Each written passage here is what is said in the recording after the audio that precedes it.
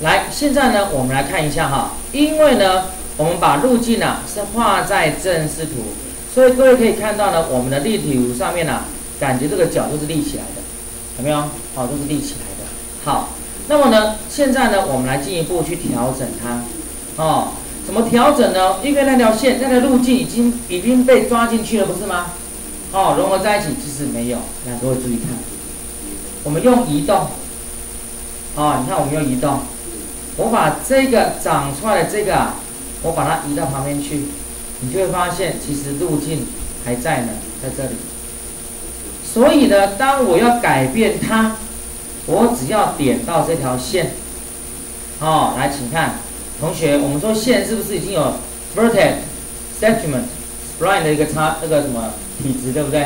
好，因为它是一条弧线而已嘛，所以呢，我们到这个 vertex 这边来，到这个模式这边来，当我呢去把它按住这个点去做移动的时候，有没有发现它跟我是同步的，对不对？它跟我是同步的，你的曲线改了，它就跟着改了。哦，这样了解了哈？哎，所以呢，各位呢注意一下。哦，这是非常怎么样呢？很简单的一个动作，只是呢去移动我们的这个点而已。相信各位啊都没有问题的。哦，但是呢你等一下在移动在调整的时候啊，要稍微的先把这根哈这根大长直长先把它移到旁边去。哦，这根长直先移到旁边去。看到这条线呐，再针对这条线去做一个移动，哦，去做一个修改。那么呢，另外啊，如果说你发现说啊怎么样呢，它呢不是很怎么样，不是很顺。哦，有点 K K，那代表我们这条曲线啊，那么呢还不够圆弧的话，你可以到我们这个 interpol 这边来，interpolation 有没有？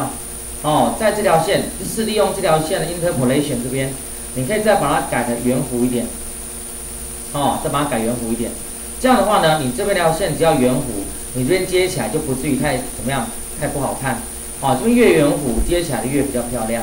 好了，我们现在这边等各位。试着去调整一下这条曲线，好，然后呢，要调整之前记得把这根大长啊先移到旁边去，好，来，我们把荧幕交给各位。